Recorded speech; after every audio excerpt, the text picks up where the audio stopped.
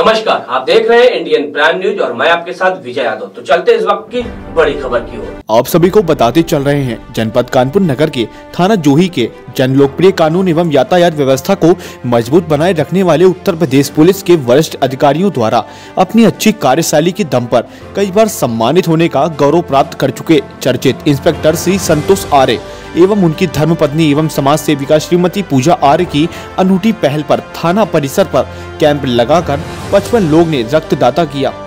आप सभी को बताते चल रहे हैं जूही थाना प्रभारी संतोष आर्य ने अपनी समाज सेविका धर्मपत्नी पूजा आर्य के साथ मिलकर पुलिस महकमे की पारंपरिक छवि को बदलने के लिए जो प्रयास शुरू किया, अब वह अभियान बना चुका है। एक बूंद खून की कीमत को महसूस करने वाले जरूरतमंदों के लिए शिविर लगाकर रक्तदान का अभियान छेड़ा है।